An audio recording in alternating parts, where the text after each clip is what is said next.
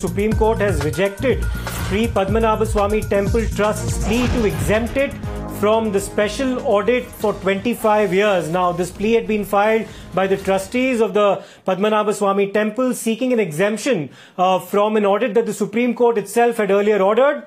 That plea has now been rejected by the Supreme Court and it is directed that the exercise be completed within a span of three months. We're joined by Harish Nair for the latest updates on this particular story. Harish, what can you tell us about the Supreme Court's observation in relation to the plea that had been filed by the trustees of the Padmanabhaswamy Temple?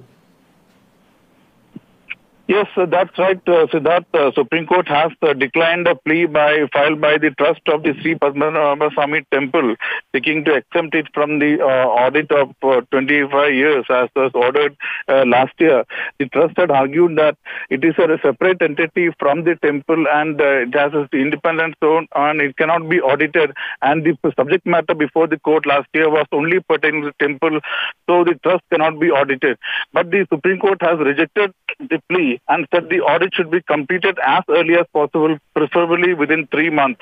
Uh, the, the court observed that it is clear that the audit contemplated was not intended to be confined to the temple only, but with respect to the trust also this direction has been has to be seen in the light of the reports of the amicus curiae in the case as recorded in the order in dated uh, 2015. Uh, the administrative committee of the, the temple had on September 17 told the apex court that it is in great financial stress and the offerings are not sufficient to meet the expenses while seeking an audit of the temple related right, Harish, uh, we'll, we'll await the reaction from the trustees of the Padmanabhaswamy temple in relation to this development from the Supreme Court.